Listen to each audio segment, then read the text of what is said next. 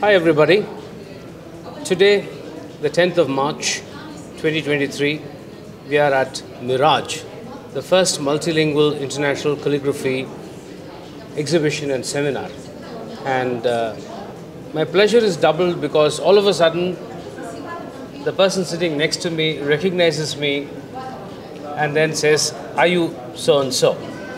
The person sitting next to me is Dr. Meera Krishnappa, and uh, almost 15 20 years ago, we had a business relationship where I used to write certificates for SchoolNet.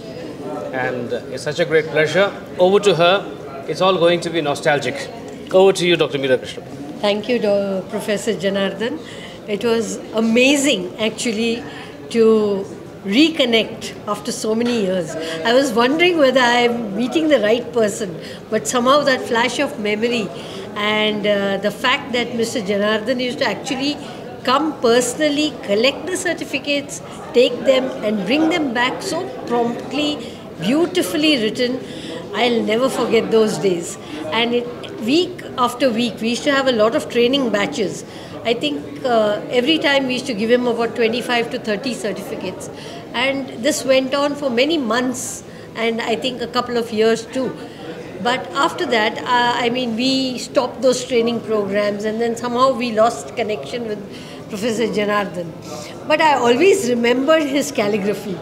And uh, today I was just talking to Mr. Said Berry's son, and I was just telling him at that time that, you know, I knew a calligrapher, but I can't recollect his name.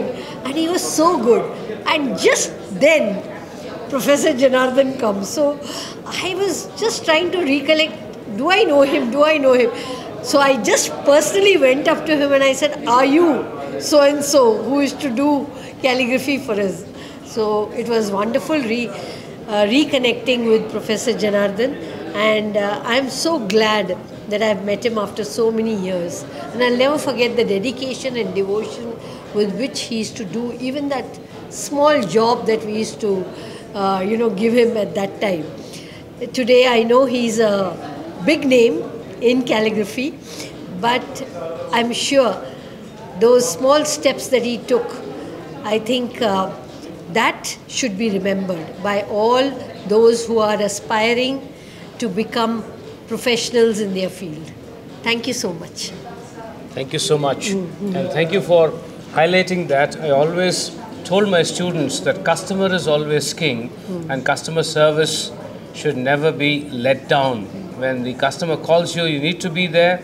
You need to pick up the work, you need to give that personal attention, and you need to personally deliver it so that everything is intact. Now, that is the message, hmm. and I'm so glad she mentioned that. And I appeal to all youngsters that please be focused on your customers and never ever let them down. Thank you. Thank you.